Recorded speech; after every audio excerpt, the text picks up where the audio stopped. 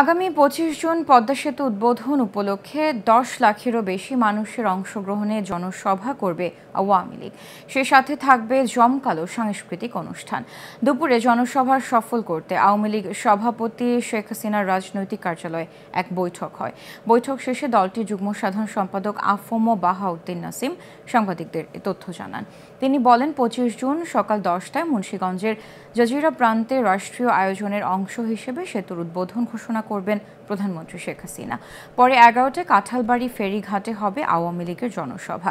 স্বপ্নের পদ্মা সেতু উদ্বোধনের সেই মাহেন্দ্র ক্ষণের সাক্ষী হবে লাখো মানুষ।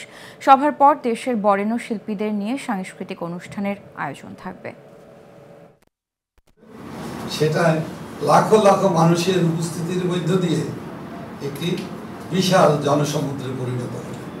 এই এই জনসমুদ্র উৎসবের জনসমুদ্রে পরিণত। এবং জনসভার পরে এখানেই কালচারাল অনুষ্ঠান হবে এবং উৎসবের আয়োজন করা হবে।